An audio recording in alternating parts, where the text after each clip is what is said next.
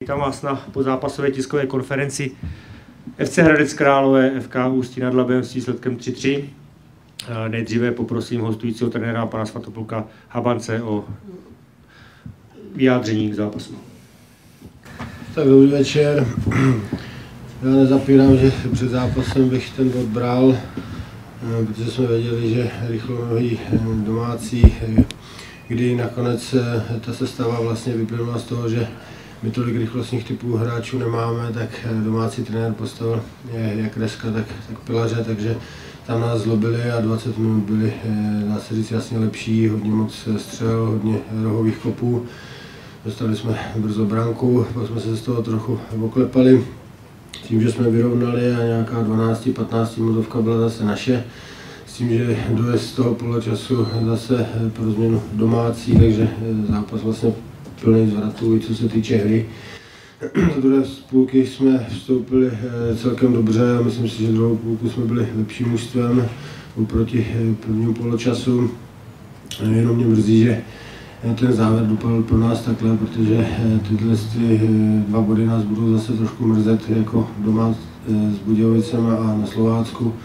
Takže mrzí mě, že jsme si prakticky dali gol úplně sami vlastní brankou a nakonec ale myslím, že ta remiza je zasloužená.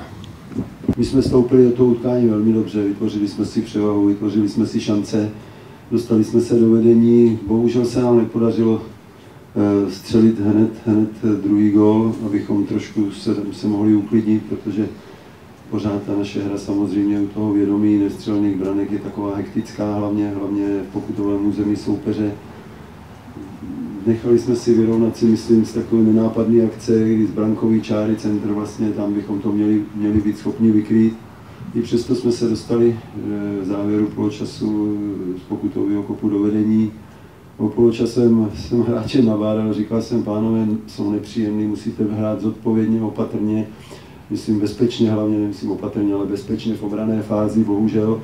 Nevím z jakého důvodu, to čekám, až se podívám na video, protože takhle, takhle v tom reálu člověk, to je to pro nás daleko.